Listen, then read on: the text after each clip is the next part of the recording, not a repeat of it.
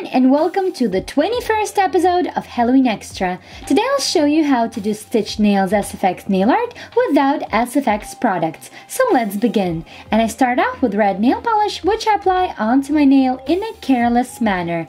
This will serve us as our fake blood.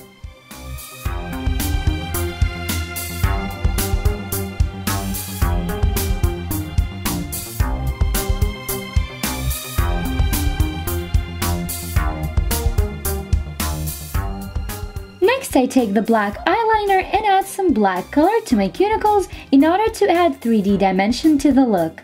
I also draw an even line on the side of the nail which will hopefully resemble the crack on my nail.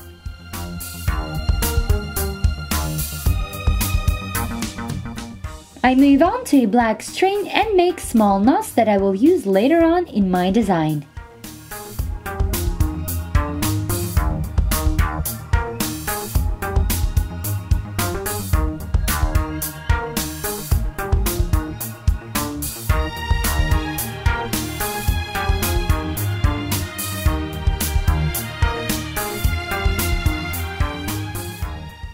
Adjust the small knots on the crack on my nail and to do that I will apply clear nail polish on top of the crack and on the very top I will adjust the knots and that is it. Thank you for watching. Please support my channel by subscribing and liking this video. And don't forget to check out my channel tomorrow for another Halloween Extra tutorial.